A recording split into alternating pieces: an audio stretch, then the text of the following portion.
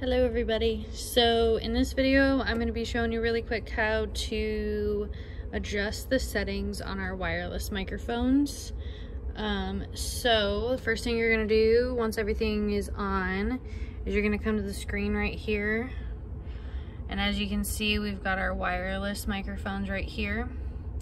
So all of these settings that are up here, if we double click, you can see that they all have set, all these settings are set right here. This one is gonna tell you what channel you're on. So this wireless micro, wireless one is on channel 19. All the rest of these have specific settings that they have to be at, and this side too. Um, all of these have to have, uh, have to be on these specific settings to make sure that the microphone is working um, the way that it's supposed to, so working at its best. So if these ever get off, the easiest way to fix this is to, so say I wanted to change the EQs. So there's five different um, adjust, like uh, adjustments that you can make. So each one of these dots right here is an adjustment that you can make and they have specific settings that they have to be at. And soon to be up on the wall right here will be this cheat sheet that we have. This tells you every single setting and what it should be at. So everything is listed with pictures showing you what each screen and each setting should look like for each wireless microphone. They are all the same. So all four wireless microphones should have these exact settings. So the easiest way to change these is, so I have L selected, but let's go to this one. So this one has the settings that are up here.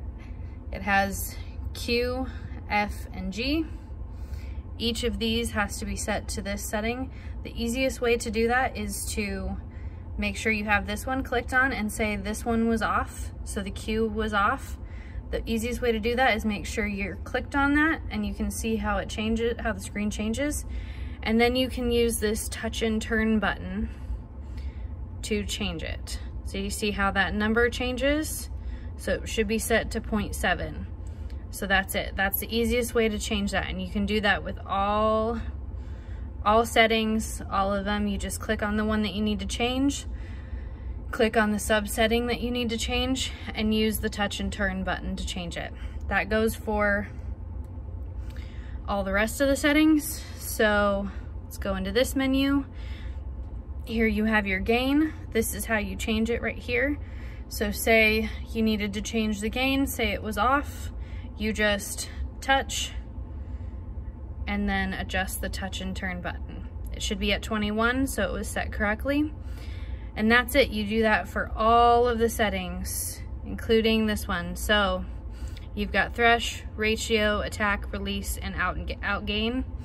All of these should be set here. If you're wanting to change the ratio, you just click on ratio and adjust with the touch and turn button.